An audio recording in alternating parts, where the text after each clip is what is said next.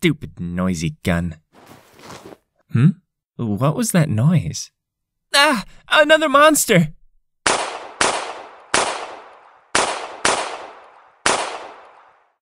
Elsewhere. Sold!